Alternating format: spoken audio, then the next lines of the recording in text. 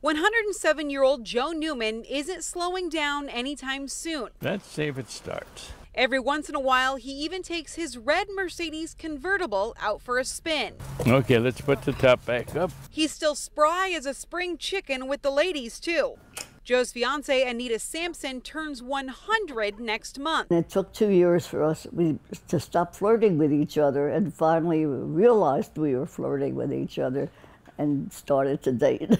Although he was born before World War I, Joe says he doesn't let his age stop him from doing what he wants. The best way to do is ignore it. That's why he decided to run for state senate at age 101. He spends most of his free time reading and leading discussion groups at his senior living facility. He says his secret to longevity is trying to make a positive impact to the people around him. When you leave somebody, try to make it so that they're saying, I'm glad I met that person.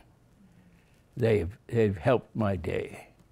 And if we each will try to look at it that way, then, uh, then we've made it a better day. We're making it a better society because we're making ourselves better people. In Sarasota, Wendi Lane, ABC Action News.